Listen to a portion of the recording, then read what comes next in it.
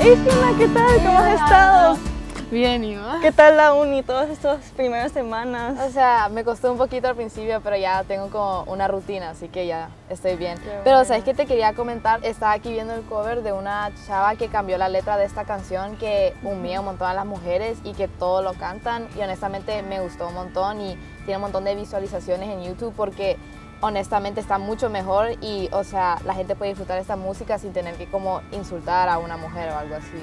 Sí, lo vi también justo esta mañana y me gustó mucho. Es cierto que estaba viendo también los comentarios y bueno, hay opiniones distintas, pero sobre todo creo que a pesar de que un cantante puede expresarse libremente, sí no, tampoco eso le da libertad de ofender o humillar a una, a una mujer. Prefiero mucho más esta letra porque siento que como hoy en día insultar, burlarse de una mujer o- o humillarla en cualquier manera en privado o en público, especialmente una canción que solo se puede esparcir tan rápido Sí. y que todas la empiezan a cantar sin darse cuenta que están como insultándose, especialmente las mujeres.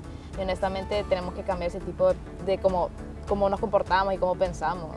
Pensando también incluso ya más seriamente si estás como con tu novio o, o tu pareja, y igual dice un comentario que puede ser un insulto hacia ya sea a ti directamente o una mujer en general, eh, que no confundamos eso con amor, porque una persona que de verdad te quiere, que le importas, no va a soltarte ese tipo de comentarios así, como tan normalizados. Sí, tienes razón. Uno tiene que estar como más consciente y como me está insultando, no haría quedarme con alguien así.